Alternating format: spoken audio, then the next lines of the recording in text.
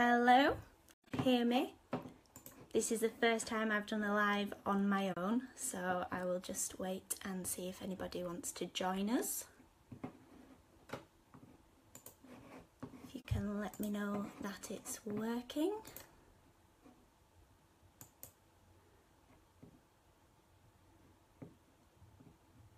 Hello, is there anybody there? Fantastic. A few people logging in. Hello, I'm Shan from Classroom Secrets. Um, I'm going to be with you for about 15 20 minutes this evening uh, just to show you inside some of our arithmetic tests. So, um, yeah, we'll just wait for a couple more people to join us, get settled, it won't be long, and it will be worth your while.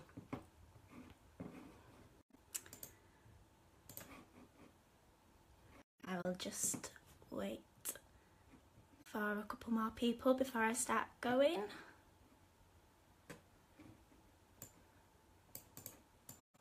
Just trying to get it up on here as well so I can see. Hello Nicola, thank you for letting me know that you're there.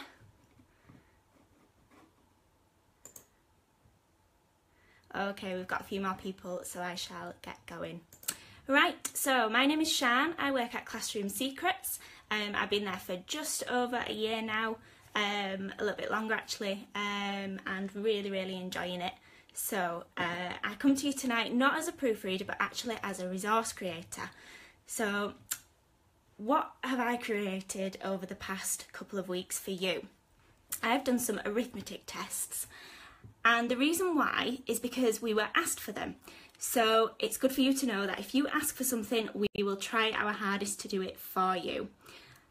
So, what is tonight about? I'm going to show you inside of an arithmetic test and explain how we've created it, um, where we've got the differentiation from, why it's progressive in the way that it is, so that you can trust our resources and use them in your classroom to help your children make progress uh, in line with the national curriculum. Hello everybody, thank you for letting me know that you're here. So, where have I got these ideas from? I'm just going to pull up on the computer and then I'm going to spin it round.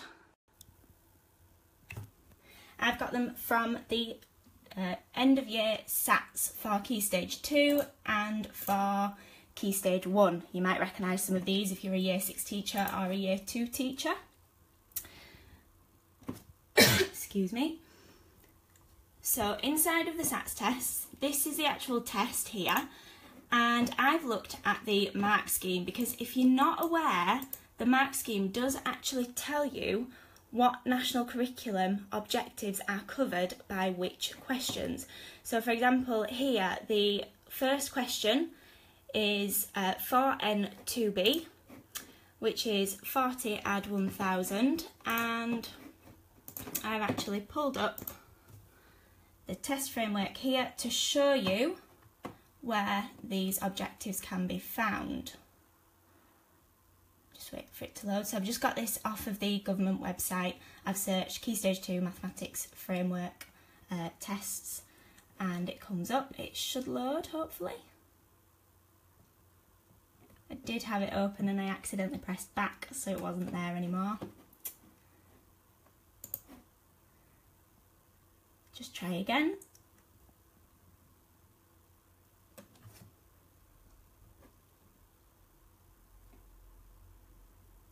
Okay, it doesn't look like it's loading just yet, so I will leave those to load in the background and I'll pull them up in a minute.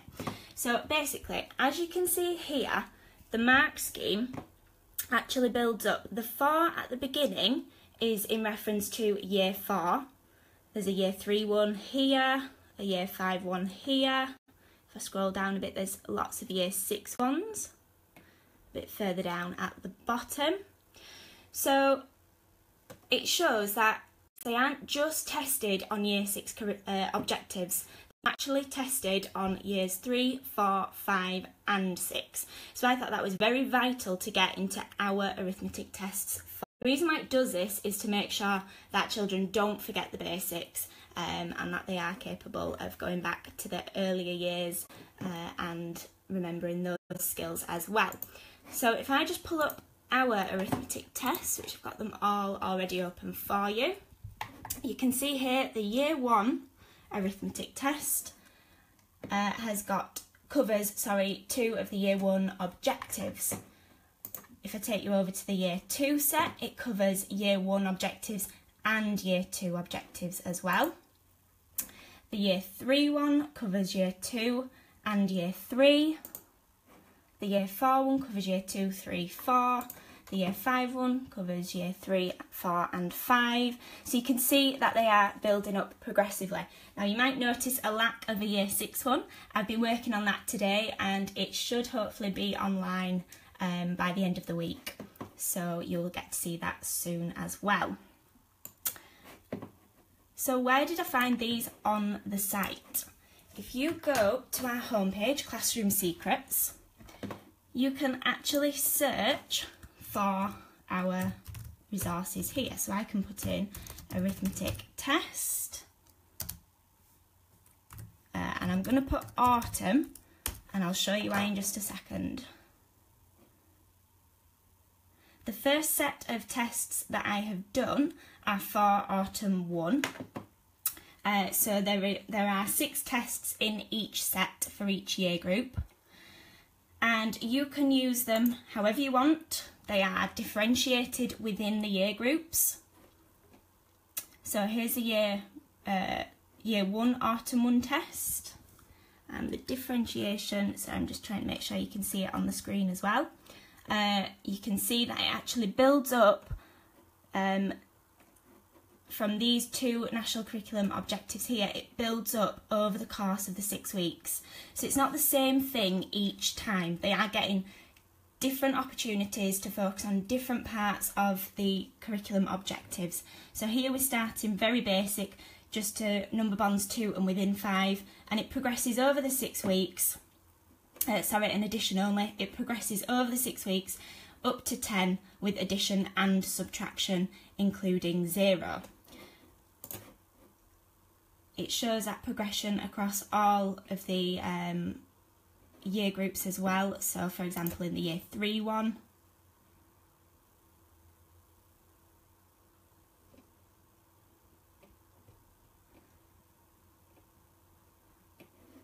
it starts out with finding 10 more, then a given two digit number, uh, multiplying 3 by 2, 5 and 10.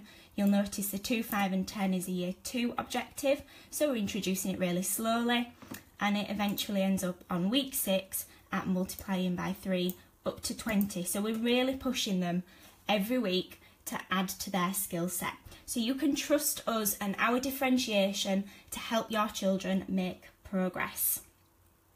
You'll also notice as well that the amount of questions changes week by week. So to start with, they've got 12 questions in year three and it builds up to 15 questions. The reason for that is because obviously in year three, they aren't expected to sit the end of year SATs tests for year six, obviously. Um, but we want to build up their stamina and get them used to this test formatting and how it all works. So, oh, thank you, Claire. You love these. I know you do. You've been proofreading them for me. Thank you. if anybody's got any questions at any point, please jump in on the um, comments. I know a few of our Classroom Secrets team are on tonight to answer your questions and if I see them in time I will also try to answer them. So, uh, just looking at what to take, uh, to where to show you next. I'll show you a year four test. So you can see here it's set out in the exact same way as um, the arithmetic test is for the end of year. So the children get used to this format, they get used to having to put their answers in this box at the end. And you can see the progression as we go throughout. So it gives you the page numbers at the bottom so that the children can keep them in the correct order as well. And then we come to the end here for the teachers. Uh, this is obviously the mark scheme. We've set it out in a very similar way. The content domain reference at the top, which shows you which uh, national curriculum objective um, it covers. So here, 3N2B. Now I can't remember off the top of my head and I don't know it. Oh, it's loaded, fantastic. So I can just scroll down on here. And it just gives you a bit of information about the test. It's really, really useful to have a read actually if you are um, year two or year six or even uh, the mathematics coordinator. They've got one for reading, um, for SPAG and for maths as well. So here, now I'll, if I turn this sideways, I don't know if that works. Give me a thumbs up if that works and you can see that easily. Nothing's come through yet, so I'm hoping that you can. Uh, so back onto this test here, it says 3N 2B for the very first question, which is 821 add 100. If I take you back over to this one here, 3n 2b is actually find 10 or 100 more or less than a given number. So it may need.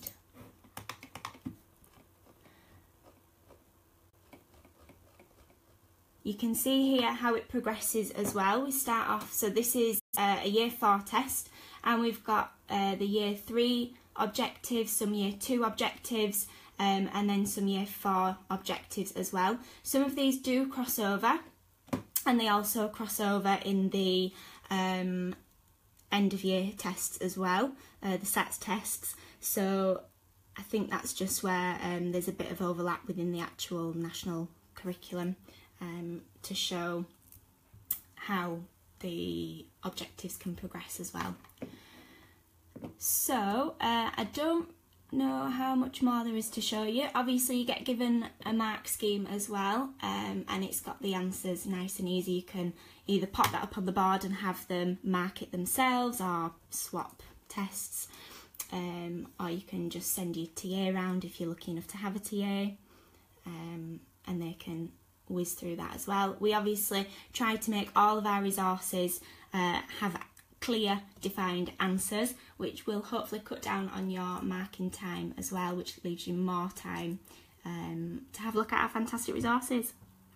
So um, is there anything else that you would like to know? You can contact us on our personal um, Classroom Secrets Facebook pages. If you're not um, part of the groups, get yourself to Key Stage 2.